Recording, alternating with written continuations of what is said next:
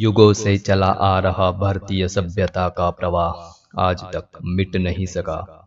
नहीं मिट सकी इस देश की सनातन संस्कृति।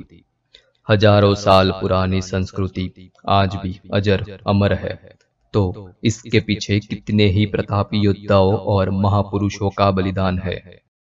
राजस्थान के महाराणा प्रताप, महाराष्ट्र के छत्रपति शिवाजी, सौराष्ट्र के हमीर सिंह गोहिल और मध्य गुजरात के सामंत सिंह बिहोला ये सारे सुरवीर न होते तो हिंदुस्तान में मुगल साम्राज्य का झंडा लहराता होता। आज हम ऐसे ही महायोद्धा, सुरवीर और पराक्रमी राजा सामंत सिंह बिहोला के बारे में जानेंगे। और हम यह भी जानेंगे कि अहमदाबाद के बादशाह को किसने हराया? सामन सिंह की बेटी से कौन शादी करना चाहता था? यह सारे राज हम इस वीडियो में बताने वाले हैं। तो वीडियो को अंत तक ज़रूर देखें।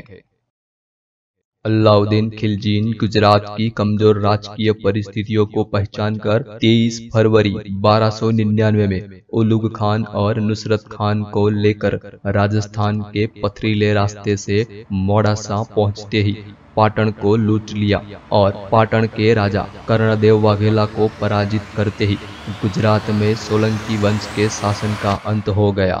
लेकिन अलाउद्दीन खिलजीन पाटन की राजगद्दी को संभाल नहीं पाया।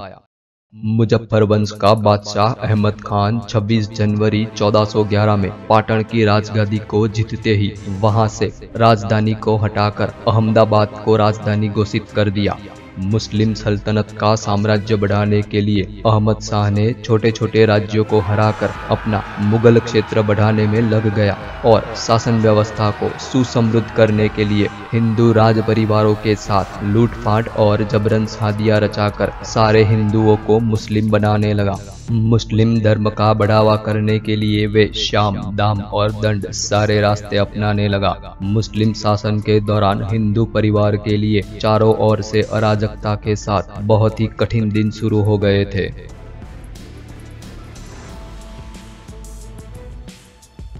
तब उम्मीद की आखिरी सोनेरी किरण जैसे गांधीनगर से नज़दीक दहगांव के पास आया हुआ बहियल, जो उस समय बिहोल राज्य से जाना जाता था।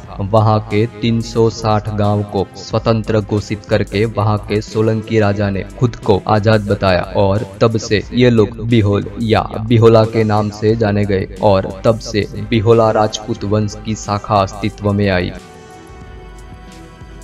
सामंत सिंह बिहोला, सोलंकी वंश की बिहोल शाखा के ठाकुर थे।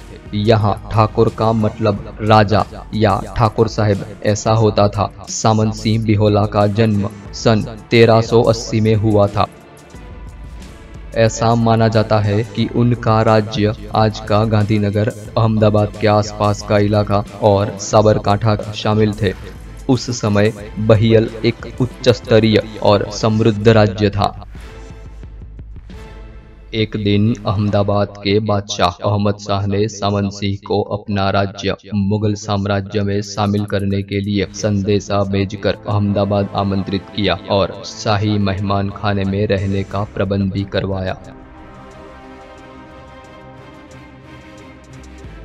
तब एक दिन सामंत सिंह गर्मियों के दिनों में माथे पे पगड़ी जैसा कपड़ा ढक कर चल रहे थे तब शाही महल के जरूखे में बैठे कुछ राजपूतों ने सामंत सिंह का मज़ाक उड़ाया और कहा कि इतनी धूप में अपना मुँह छुपाकर कौन आ रहा है। यह बात सुनते ही सामंत सिंह का खून खोल गया और गुस्से से तलवार पे हाथ रखकर जवाब दिया कि अपनी माँ बहन और बेटियों को मुसलमानों के हाथ सौंप कर आप ऐसे बेसरमों की तरह क्या हंस रहे हो? मुँह तो आपको छुपाना चाहिए। सामन सिंह का यह रौद्र स्वरूप देखकर सारे राजपूत शर्म के मारे अपना मुँह नीचा कर दिया। फिर सभी राजपूत बादशाह के पास जाकर सारी बात बताई और ये भी कहा कि जहाँ अपना आपके साथ हमारी बेटियों का वैवाहिक संबंध रखने से हम हिंदू समाज में बदनाम और अपमानित हो रहे हैं। सामंत सिंह बिहोला ने हमें सुल्तान का ससुर कहकर अपना मुँह काला करने को कहा। तभी बादशाह ने फरमान किया कि सामंत सिंह को तुरंत कैद किया जाए, पर राजपूतों ने बादशाह को रोक कर कहा कि ऐसे सजा करने से हमारा कलंक दूर नहीं होगा। अगर आप उनकी बेटी राजकुंवर बा के साथ शादी करते हो तो हमें न्याय मिलेगा और सामन सिंह का मुँह बंद होगा। अगले ही दिन बादशाह ने सामंत सिंह को राज दरबार में बुलाकर राजकुंवर बा से शादी करने का प्रस्ताव रखा। सामंत सिंह की बेटी सात साल की छोटी बच्ची थी, इसीलिए सामंत सिंह ने मना कर दिया। लेकिन बादशाह की जिद के आगे सामंत सिंह को जबरन यह प्रस्ताव स्वीकार करना पड़ा। फिर बादशाह ने उन राजपूतों को यह बात बताई। तो राजपूतों ने कहा कि सामंत सिंह अभी अहमदाबाद में था इसीलिए मान गया। लेकिन वे बिहोल में जाकर ज़रूर मुकर जाएगा। बादशाह ने दूसरे ही दिन सामन सिंह को राज दरबार में बुलाकर, यह शादी हम जल्द ही करना चाहते हैं, ऐसा बताया। तब सामन सिंह ने बड़ी चतुराई और होशियारी से जवाब दिया कि आपकी शाही सल्तनत की शोभा बढ़ाए, ऐसे बारात का स्वागत मैं कर सकूँ, ऐसी मेरी हैसियत नहीं है। मतलब कि मेरे पास इतने सारे पैसे नहीं है। तब बादशाह ने शादी का पूरा खर्च अपने शाही खजाने में से करने का आदेश दिया। और फिर सौ ऊँट के साथ सोना, चांदी और जवेरात के साथ सामन सिंह को बिहोल की ओर सम्मान के साथ विदा किया।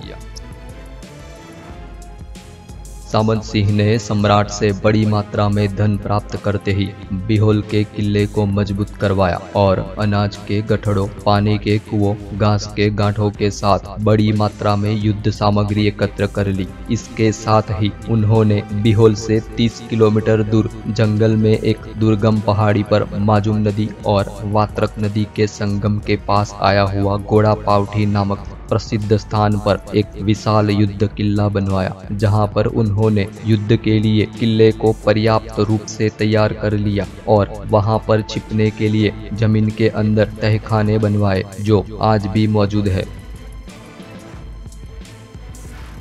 सामंत सिंह ने बिहोल में पाँच हज़ार योद्धाओं को तैयार किए और फिर अहमदाबाद के बादशाह अहमद शाह को शादी का आमंत्रण भेजा। शादी का निमंत्रण मिलते ही अमीर उमराव और सेना के साथ पुलकित होकर ढोल, मृदंग और बारात के साथ बिहोल गाँव के पास आ पहुँचा। वहाँ पर सामंत सिंह ने बारात का स्वागत किया।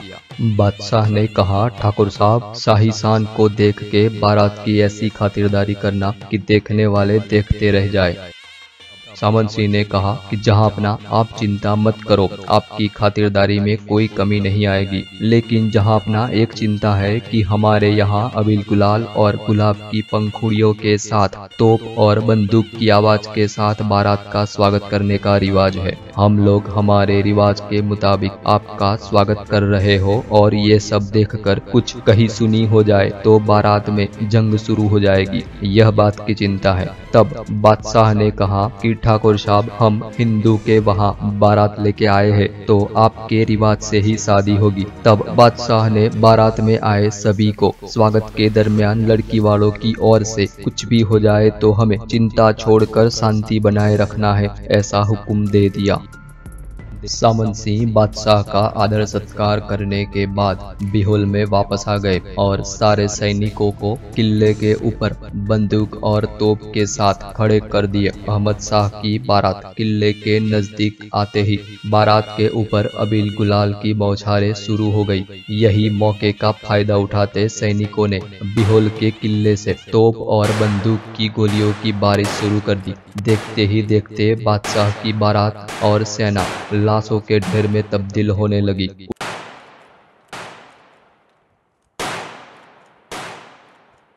उसी समय अहमद शाह बादशाह हिंदू रिवाज के मुताबिक अपनी बारात का स्वागत देखकर मन ही मन मुस्कुराता था। किंतु किले की ओर से लगातार गोलियों की बौछार और तोप मारों से अपने ही लोगों को मरते हुए देखा। यह देखने के बाद खुद के साथ बहुत बड़ा धोखा हुआ है, ऐसा देरी से महसूस हुआ। फिर बादशाह ने आक्रमण करने का आदेश दे दिया। छोटे से राज्य के सामंत सिंह बिहोला ने मुगल सल्तनत के अहमद शाह को दिन में तारे दिखा दिए। तब परेशान हुआ बादशाह ने अहमदाबाद से और ज़्यादा तोप और सैनिक बुलवाए। विराट यवन सैन्य को सात दिनों तक टक्कर देने के बाद बादशाह के सारे सैनिकों को सामंत सिंह ने मौत के घाट उतार दिया और सामंत सिंह बिहोल गाँव को आग लगाकर वहाँ से गुप्त मार्ग से दोरी पावठी के दुर्गम स्थल पर जा पहुँचा और फिर बादशाह गाँव में प्रवेश करके अपने अमीर उमराव जो मर गए थे, उनकी लाशों की दफन विधि करना शुरू किया और बिहोल में तीन महीने तक रुका। उसी समय बादशाह के गुप्तचरों ने बताया कि सामंत सिंह यहाँ से नजदीकी किले में छुपा है। यह सुनते ही बादशाह ने पावठी के आसपास के पूरे जंगल को काटकर घोड़ा पावठी के किले पर आक्रमण कर दिया। पर सामंत सिंह भी बहुत ही हिम्मत और बहादुरी से दो महीने तक युद्ध करता रहा। किंतु इतनी बड़ी यवन फौज के सामने टिकना मुश्किल था। तब उन्होंने अपनी बेटी की शादी इडर के राजकुंवर के साथ कर दी और वे मारवाड़ जाकर आराम से अपनी बची हुई ज़िंदगी बिताने की सोची। लेकिन अब बेटी की चिंता न होने के कारण वे अपने वतन बिहोल में वापस आ गए और अहमद शाह के सामने फिर से युद्ध करने का ऐलान कर दिया। बारह साल तक सामंत सिंह, होशियारी और चतुराई से बादशाह के सैनिकों की कत्ले आम करता रहा। तब अहमद शाह सामंत सिंह का यह आक्रामक रूप देखकर और बार बार युद्ध करने से बादशाह भी तंग आ गया और आखिर में बादशाह ने हार मानकर कर सामंत सिंह के साथ समाधान कर लिया और चौरासी गाँव का राज्यभार वापस दिया।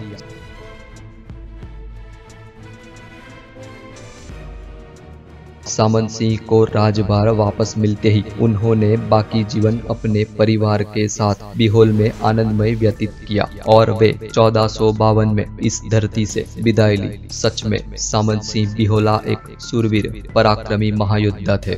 मुगल समय में भारत के कई राजाओं ने अपने साम्राज्य और क्षेत्र बचाने के लिए अपना बलिदान दे दिया। यदि भारतवर्ष के सारे राजपूत राजाओं ने अपनी विलासी ज़िंदगी को त्याग कर दिया होता और मुगलों और विदेशी आक्रमणकारियों के खिलाफ एक होकर आवाज़ उठाई होती और लड़ाई भी लड़ी होती। तो आज भारत पूरा हिंदुस्तान होता और राजपूतों का साम्राज्य भी होता। खैर, हिंदुस्तान ने पहले ही गुलामी से गुजरने का समय तय कर लिया होगा।